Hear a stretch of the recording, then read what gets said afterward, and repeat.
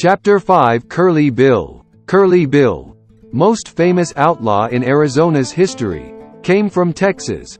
But when or how or why is one of several mysteries in his life, his end being as enigmatic as his beginning.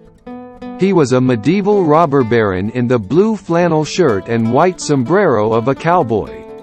He rode at times with 30 or 40 tall fellows at his back, and it was said he could gather a hundred men at arms within a day if needful occasion arose. All the outlaws of southeastern Arizona owned some sort of allegiance to him. He lived boldly and jovially. After the dangers and hardships of a cattle-stealing raid or an attack upon a Mexican smuggler train in some mountain defile, he took his ease in his strongholds, with Wassel and High Revel and his merry men around him. He was, to the eye, a good-natured, rollicking chap, heavy-set, black-eyed, with a shock of curly black hair. But for all his roly-poly look and the dimples that showed in his round, swarthy face when he laughed, he was a powerful fellow and as quick and tricky and dangerous as a panther. Though his career is a tale of romance, he was strictly a businessman with no romance in him. He planned shrewdly, and murder was a routine detail in his trade of adventure. Some might tell you that John Ringo was his brains. This is not true. Curly Bill had brains of his own, and sharp, resourceful brains they were, amply sufficient for all the generalship necessary in the life he led. Moreover, Curly Bill had the decisiveness in action that Ringo lacked. Curly Bill led, Ringo followed. Curly Bill, in his earlier days, was the scourge of the Arizona ranges. He stole cattle from the scattered ranchers.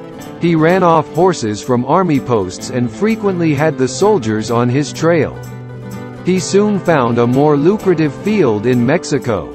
Millions of longhorn cattle pastured half wild on the vast ranges of Sonora and Chihuahua. Some of the wealthy hacendados of these two states just over the international line owned so many cattle they could not estimate the number within a hundred thousand head. Rich quarry were these countless herds for Curly Bill and his buccaneers who, stealing across the border, rounded up cattle from plains and foothills and brought them back in rushing stampedes, sometimes a thousand head at a single eagle swoop. But these forays were not without danger. The border Mexicans were hardy fellows, seasoned in warfare against Yaqui and Apache, and not infrequently the rustlers had stiff brushes and running fights with rurales or vaqueros and had to battle for their lives before they won to safety on American soil. Markets for his stolen cattle were plentiful. Curly Bill did a thriving trade, it is said, with contractors who supplied San Carlos and other Indian reservations with beef. Other buyers, equally unscrupulous, shipped the pilfered steers east or sold them to frontier slaughterhouses. And, it may be whispered confidentially as a deep, dark secret known only to everybody in Arizona. Wealthy stockmen newly established in the country swelled their foundation herds with cattle that Curly Bill had stolen below the line. So it will be seen Curly Bill was no cheap horse thief but a robber operating on a scale of wholesale magnificence never known before along the international border.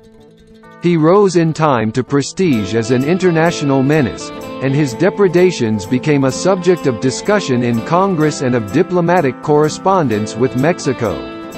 Curly Bill's first recorded exploit in Tombstone's history was not impressive. Frederick White, Tombstone's first town marshal, a two-fisted fighting man, kept sleepless vigil over the town and was fearless in his efforts to preserve order. He had taken counsel with Wyatt Earp who, out of the wisdom of Dodge City experience, cautioned the marshal against permitting any shooting off of firearms within the city limits. The fellow who finds himself safe in shooting holes in the atmosphere, said Wyatt Earp, will, the first thing you know, be shooting holes in citizens. So Marshal White issued a ukase that anyone who against the peace and dignity of Tombstone presumed to fire a gun in town would suffer the full penalty of the law, which meant a fine and the calaboose. Curly Bill, new to Arizona, was just beginning to be heard of as an outlaw. Mere reputation for lawless deeds out in the mesquite jungles was not regarded as just cause for arrest in the Silver Camp, and Curly Bill came and went at his sweet will, and was a familiar figure in saloons and gambling places. Wherever he got it, he had money and plenty and spent it with a free hand. Saloon loungers were sure of free drinks as long as Curly Bill was in town, and when Curly Bill sat down at a faro table, the dealer dropped his customary air of languorous indifference and straightened up for swift, stiff play. With some roistering cowboy companions, Curly Bill emerged from a saloon on Allen Street one midnight, and it seemed fitting to the company to wind up the evening's entertainment with a salvo from their six-shooters, the same being an amusement dear to the cowboy heart.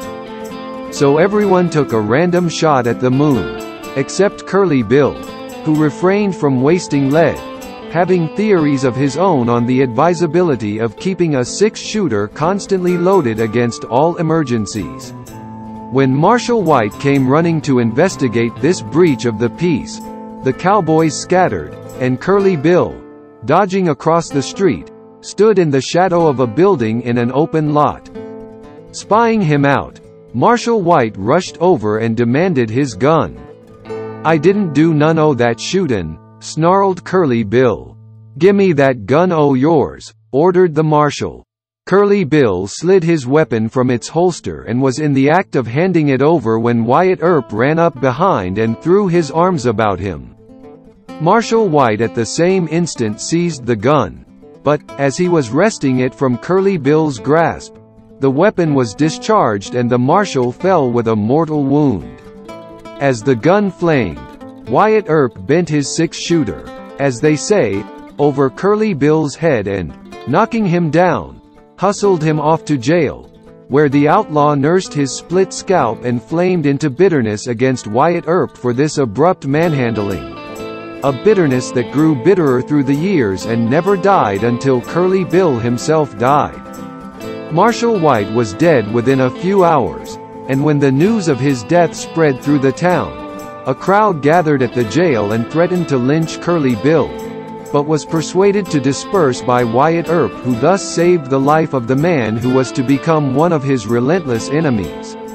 After a preliminary hearing before Justice Gray, Curly Bill, who gave his name as William Brocius, as appears by the official records, though old-timers who knew him say it was William Graham, was removed to Tucson where he stood trial before Justice Neugas. Curly Bill testified that Marshall White had caused his own death by the violence with which he had seized the outlaw's six-shooter. This view of the fatality was sustained by Wyatt Earp on the witness stand and by a dying statement made under oath by Marshall White and submitted in court. Thus exonerated by the two officers concerned in the affair. Curly Bill was acquitted. Justice Neugas holding the tragedy, a misadventure. Curly Bill afterward boasted that he had killed Marshall White intentionally. The outlaw declared that he had presented his six-shooter butt foremost but, slipping a forefinger inside the trigger guard, had trickily whirled the weapon around end for end and fired as Marshall White seized it. This story may possibly have been true, though the details of the tragedy as they came out in court seemed to discredit it. If Curly Bill fired with malice aforethought, the trick was so deftly performed that it deceived not only such a six-shooter expert as Wyatt Earp but also the man who died from the bullet. The tragedy that deprived Tombstone of its first town marshal was effective. It may be mentioned in passing, in advancing materially the fortunes of the Earps. Marshal White was killed October 27, 1880, and at a general election a few days later, Virgil Earp was chosen without opposition to fill the vacancy. With Virgil Earp at the helm of police affairs and Wyatt Earp in an important federal position, the Earps were in a way to become politically powerful. Much more characteristic of Curly Bill than this early Tombstone adventure was a later one in which the principal role was enacted by the only man who ever played a joke on the outlaw chief. Dick Lloyd was an old cowboy as seriously stupid as a range steer and perfectly harmless until he came to town and got drunk enough to imagine himself a bad man. When he rode into Fort Thomas one hot dusty day from Bear Springs Valley over in the Grahams, he was dry with a five months thirst. Tying his paint pony to a mesquite tree, he clanked into E-Man's saloon, where, as it happened, Curly Bill was playing poker. Around the table with the outlaw leader were such convivial spirits as John Ringo, Joe Hill, Tom and Frank McLowery, Ike Clanton, and Jim Hughes, and the game had been roaring for two days and nights without interruption. After a few rounds of raw whiskey with the genial E-Man, Dick Lloyd wandered with a sunrise smile to the poker table. These rustlers were old friends of his. As a cowboy in off the range to spend his money, he had had many a social glass with them in Charleston and Galeyville, and he greeted them with boisterous good fellowship. Hello, Curly. Howdy, Ringo. Put her there, Hill. How's all the boys? I've knowed old Dick ever since he worked for the Diamond A over in the Animas, remarked Curly Bill when Lloyd had gone back to the bar, and a better hand never punched cows. After Dick had had a few more drinks with E-Man, the two men walked to the front door. There the cowboy, with no apparent reason, pulled his six-shooter and hauled up and threw down, as they say, on the genial E-Man. The bullet creased the saloon keeper's neck as he dodged behind the bar, leaving a scar that became a lifelong mystery. E-Man being too drunk ever to remember why he was shot, and Dick Lloyd being past the point of explanations. This was the beginning of the affair. Reeling across the street, Dick climbed on his pinto pony, drawing his Winchester from its saddle scabbard and sticking the muzzle high over his head. He fired a shot by way of advertising the show, securing Fort Thomas's instant and undivided attention. Wee ee ee ee ee. Raising a war whoop, he went charging through the street, shooting up the town with fine abandon. His devastating course marked by crashing windows and splintered store fronts and citizens running madly for cover. When he chanced to spy the fine-looking horses of the Curly Bill outfit hitched in a corral, he abandoned his sorry pinto and mounted a rangy bay. This animal belonged to Joe Hill, now sitting in the poker game in E-Man's saloon, as dangerous an hombre as rode with Curly Bill, and incidentally the black sheep of one of the best-known families in Arizona, Joe Hill not being his name. Mounted now in style, Dick came curving out of the corral on the dead run and again went careering up and down the street, yelling and pumping lead at everything in view. But all the citizens having ducked out of sight, Dick, as an actor giving a high-class performance, felt the loss of his audience. Tearing up and down an empty street with nobody to shoot at wasn't much fun. A brilliant inspiration flashed upon him. He would ride into the bar and break up the poker game. That would be a great joke on Curly Bill.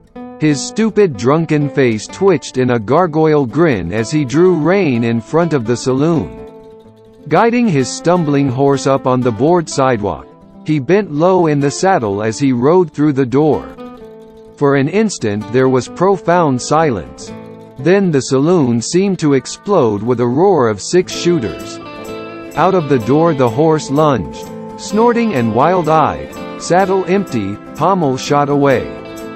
Blue smoke drifted out into the street. The old cowboy's joke had been a riot. Laughing with huge enjoyment, Curly Bill and the rustlers settled back to their card game. The humorist lay sprawled in the middle of the floor, shot all to pieces. Old Dick, remarked Curly Bill, was a good feller. Gimme 3k yards. Bet you 10, said Curly Bill, shoving in a stack. I surely never would have suspicioned nohow that that locoed tarantler, With me a settin' here playin' poker and him knowin' it. I call. Aces up, said Curly Bill. Good hand. But what I can't figure out is how in the hell that simple-minded piffalicated centipede ever had the cold guts to come ridin' in here on my own hoss.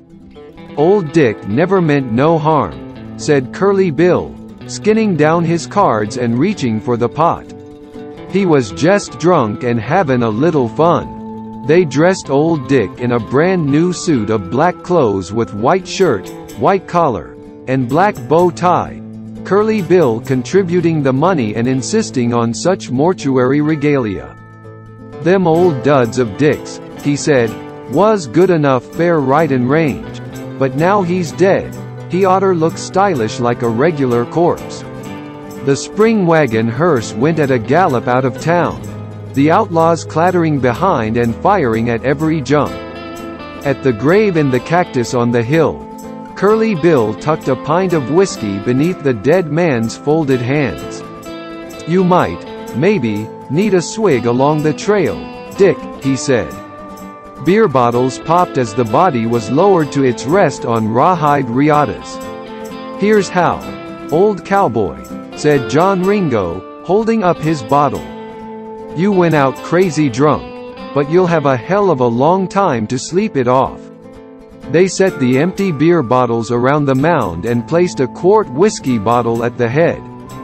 Then, with a last six-shooter volley over the grave, the outlaws swung into their saddles and galloped back to their poker game in E-Man's saloon.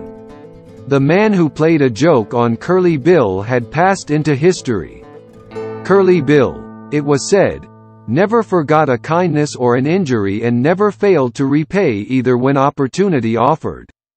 Sandy King, one of his rustlers, having been shot in a brush with officers, Curly Bill was nursing him in the hills near Fort Bowie.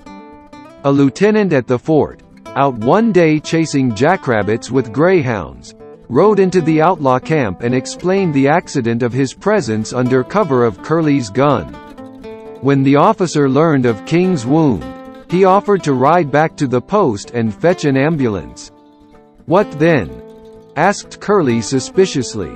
The man will be given proper surgical attention, replied the lieutenant. That all? That's all. The lieutenant brought out an ambulance and took King to Fort Bowie, where, in the post hospital, the outlaw recovered from his injury and went his way in peace. Several months later, Curly Bill raided the army corrals at Fort Bowie and ran off a number of horses. The same lieutenant was placed in charge of a squad of soldiers that took the trail. He found the stolen horses at Hughes's ranch in a corral surrounded by a high adobe wall behind which stood Curly Bill's outlaws with rifles. What do you want? challenged the outlaw. I've come for those stolen horses, replied the lieutenant. Try to take 'em, shouted the outlaw, and the rustlers cocked their guns. Curly Bill took a second look at the lieutenant. Hold on, boys, commanded Curly. That's the man who saved Sandy King's life. Curly Bill threw open the corral gate and helped the soldiers cut out the stolen army horses. He shook hands with the lieutenant. You can have anything you want from Curly Bill anytime you want it, he said in parting. Curly Bill's outlaw kingdom had two capitals. The first was Charleston on the San Pedro. The second was Galeyville in the San Simon. When it seemed to King Curly that Charleston was a little too close to Tombstone and the reign of law and order Wyatt Earp had set up, he moved his headquarters eastward across the Chiricahuas to Galeyville. Charleston was a town of 500 people, under the shade of great cottonwood trees on the west bank of the San Pedro and half encircled by that pellucid stream to get drunk and shoot up this quaint village now and then was only to show oneself a public-spirited citizen. When one drew near Charleston at night, one estimated the distance by the definiteness of the revolver shots of inebriated revelers. C.A. Cummings, who now owns half of Tombstone and who was then ditch tender for the Charleston stamp mill, had to do sentry duty without a light along the mill flume because so many shots were fired from the town at his lantern. An ordinary form of salutation was, Well, how many dead ones have they got on ice this morning? Jack Swartz, a Charleston saloon keeper, buried his Mexican wife in the morning, killed a Mexican man at noon, and married another Mexican woman before sundown. Jim Wolfe, catching a tramp robbing his house, resolved himself into a one-man lynching party and hanged the thief to an apple tree, relenting and cutting him down just before his life was extinct. Jerry Barton, a saloon man noted for his strength, was said to have killed 17 men, three in handkerchief duels and two with his fist. When Jim Wolfe inquired how many men Jerry had in his private graveyard, the giant pursed his brows reflectively. Do Mexicans count? he asked. Justice of the Peace Jim Burnett, erratic czar of the town, having trouble with the Board of Supervisors over his fees, announced that in the future, this court will take care of itself, and thereafter remained in rebellion against the county authorities and put all fees in his own pocket. A coroner's jury, under instructions from the justice, brought in a verdict that it served the Mexican right for getting in front of the gun. Justice Burnett issued his own warrants and served them with a shotgun. No matter where he arrested a prisoner, in street or saloon, he at once declared court open, assessed the fine, and usually collected it then and there. When Jack Harrer, a ranchman, was drunk and shooting up the town, the justice dragged him from his horse and fined him 20 head of three-year-old steers. Having fined Jawbone Clark, who ran a dance hall, $50 for being drunk, Justice Burnett lost the money in a poker game. Then the court left the table long enough to arrest Jawbone again on the additional charge of disturbing the peace, and having fined him another 50, bought a fresh stack of chips. The Reverend Tuttle came over from Tombstone and held religious services one evening in the schoolhouse, Charleston being shy on churches. Curly Bill, having some curiosity to see what church was like, rounded up Ike Clanton, and the two outlaws went to the meeting. As these noted robbers and desperadoes stalked up the aisle with their six shooters on and took front seats, the congregation became panic-stricken. One slipped out and then another until the minister was left with Curly Bill and Ike Clanton. Preacher Tuttle, sharing in the general consternation, was edging toward the back door when Curly Bill drew a bead on him. Come back here, shouted Curly. We've took out chips in this game and we aim to see the deal through to the last turn. The reverend gentleman, keeping a dubious eye on Curly's gun, came back. Me and Ike was feelin' low-spirited, Curly explained, and we, load we'd come in and hear you preach. Thinkin' maybe yo, sermon might cheer us up. Yo congregation's done sneaked out on you fair no special reason clear to us. But we'd admire to have you open up yo, game regular and, Curly added with an offhand gesture with his six-shooter. Ef this here sermon don't come off on the square, it'll come off in the smoke whereupon the minister launched into a pulpit oration of regulation length. But he took occasion as he went along to give his congregation of two outlaws some pretty hard digs, and did not fail to paint a telling picture of the hell of fire and brimstone that awaited all robbers and murderers who perished in their sins. Now, said the preacher with a sly smile at the conclusion of his discourse, if the congregation will rise, I will pronounce the parting benediction. None whatever, declared Curly Bill. This here roundup ain't over by no means. Yo, sermon's done got me an Ike millin' round and pintin' the right way but we ain't saved YIT. However, in the present excited state of our feelings, we allow a hymn might shove us on into the gospel corral. Preacher Tuttle, who had a sonorous baritone voice, sang a hymn. He sang it so well that Curly Bill suddenly developed a great taste for religious music and, casually fingering his six-shooter, demanded more.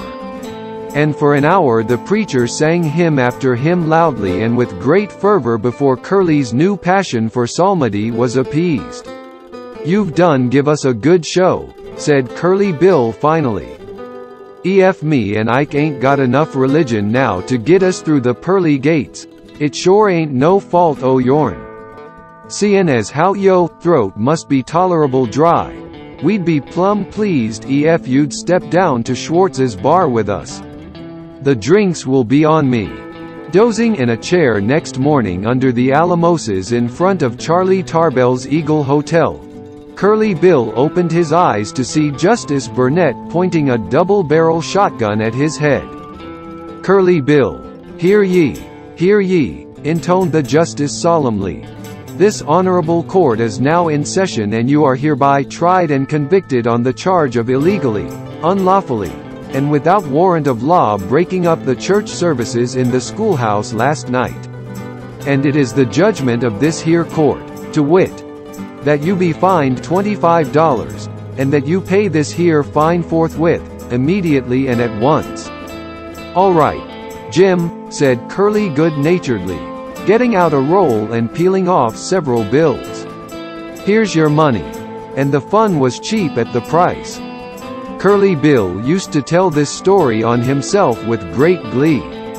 And that low-down ornery old robber, he would say, who didn't know no more bout law than a range bull, kept them two barrels of hyson pinted right between my eyes till I paid him that fine. Charleston's famous justice of the peace met a tragic death years afterward. He had gone to ranching near Hereford, a few miles up the San Pedro Valley from Charleston, and his land adjoined that of W.C. Green, principal owner of the Cananea copper mines in Old Mexico, and a multimillionaire. A dam Green had built across the river for irrigation purposes was blown up, and in the flood that followed, Green's little girl was drowned. Green became convinced that Burnett had wrecked his dam and, encountering the former justice at the Allen Street entrance of the OK Corral in Tombstone, shot him to death.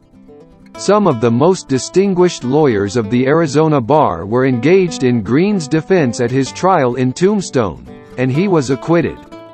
Green, dead now many years, was popularly supposed to have been the original of the old cattleman of Alfred Henry Lewis' Wolfville Tales.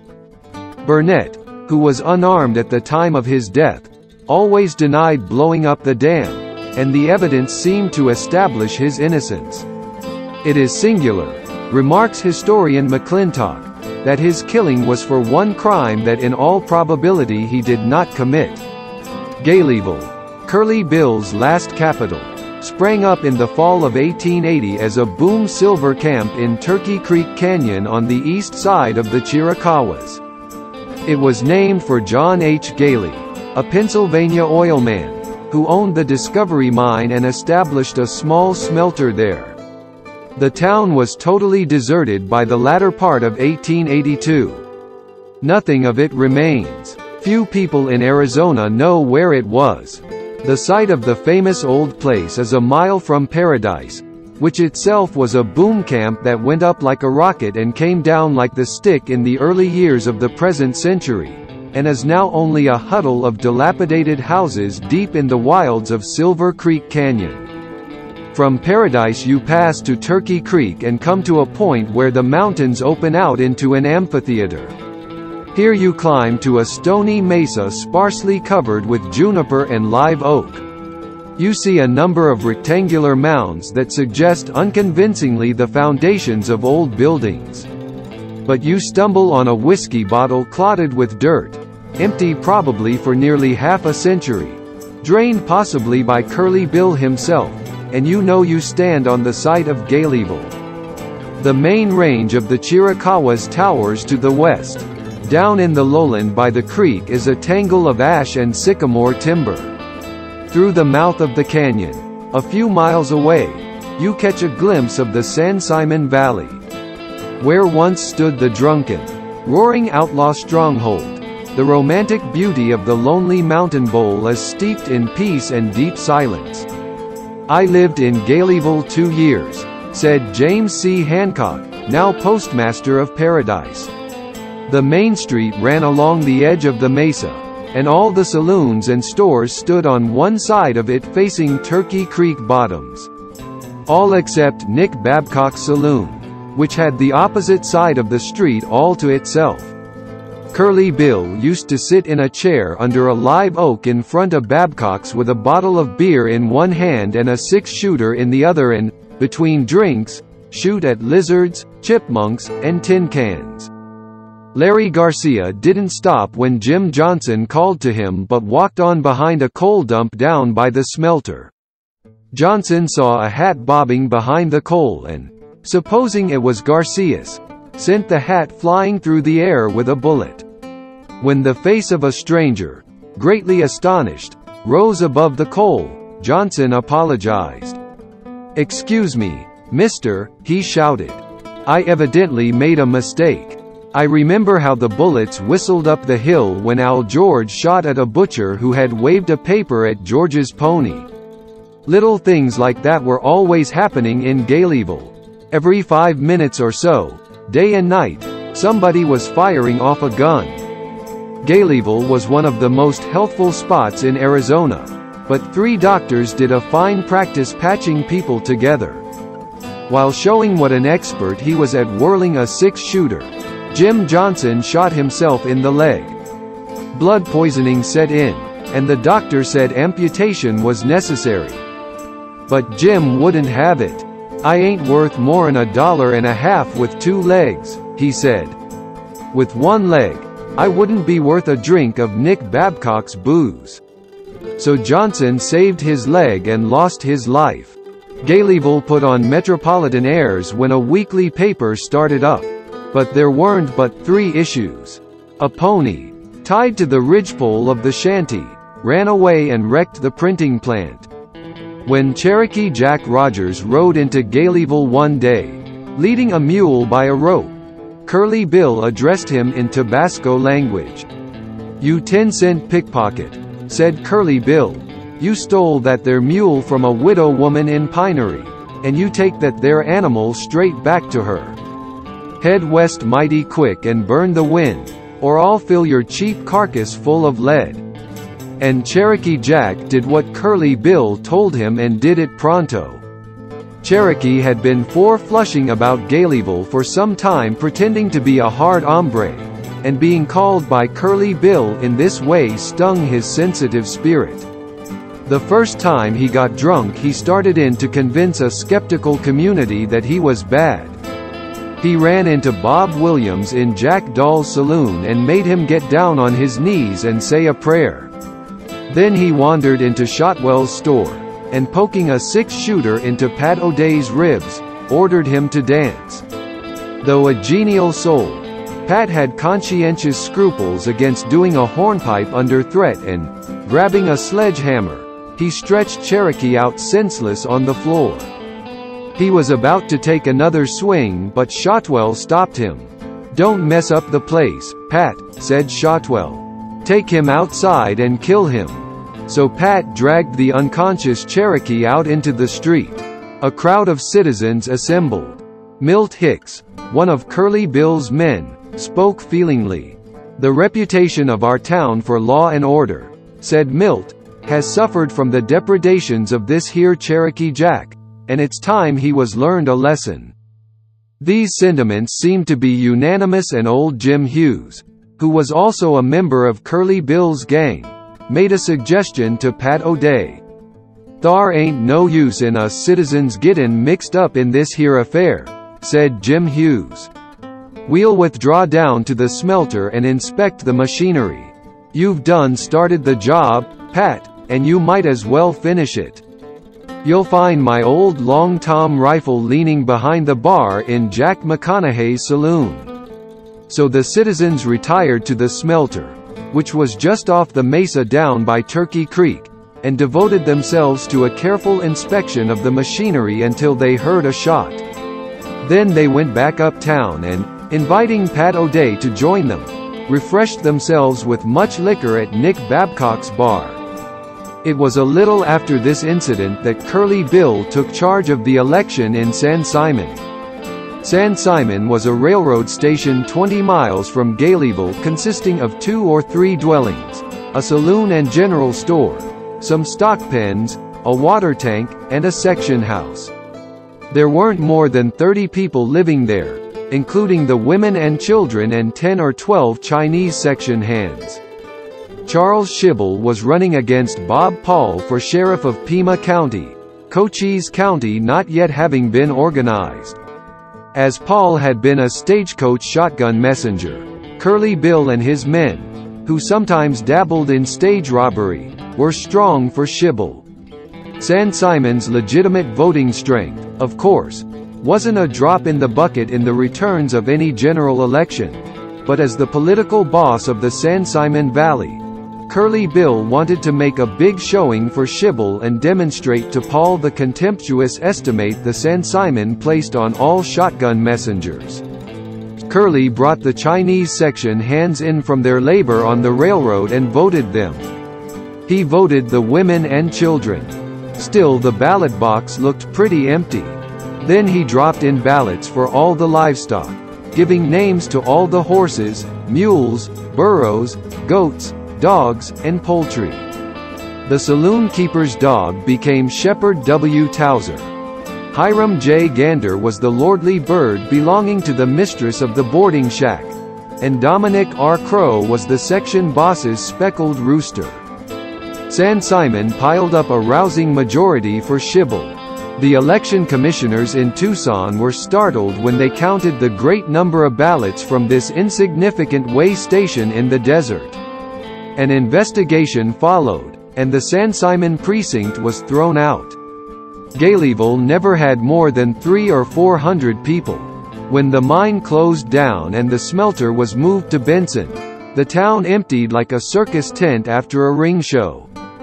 In two weeks the only persons left were Rube Haddon and Seward Smith, who had been a justice of the peace. For 20 years these two lived in the empty town alone, and then Smith moved away. But for five or six years longer, Rube Haddon remained as Galeyville's last and only inhabitant. He did a little mining and assessment work in the hills, and when he sat in the evening by his front door, he could see from one end of the main street to the other. The old saloons where Curly Bill and his outlaws had once caroused were falling into decay, the bars still standing and the mirrors behind the bars reflecting only cobwebs and empty darkness. The dance hall where the rustlers used to shoot the French heels off the slippers of the girls whirling in a waltz or a quadrille was tumbling down. The store windows were black with rain-spotted dust. The rotting wooden sidewalks were caving in, and grass and weeds were growing in the street. But Rube Haddon didn't seem to mind the silence and loneliness. He grew old and gray as Galeyville's entire population, and he might be there yet if it hadn't been for the new silver strike in Silver Creek Canyon. Then he moved a little closer to paradise, and you'll find him there today living alone in a log cabin under the pines and edging along toward 90. What was left of Galeyville was finally torn down, and the lumber used for buildings in Paradise. Charleston, like Galeyville, passed into oblivion in the full tide of its iniquities. When the stamp mill was closed, the town was abandoned. The place that knew Charleston in its glory is now a haunted desolation. The tall cottonwoods that shaded the village still stand by the San Pedro, but buried in thick underbrush beneath them are only a few crumbling adobe walls. Stark and ghostly in the mesquite tangles. The old ruins stand like grim skeletons in lonely vigil above a scene of crime.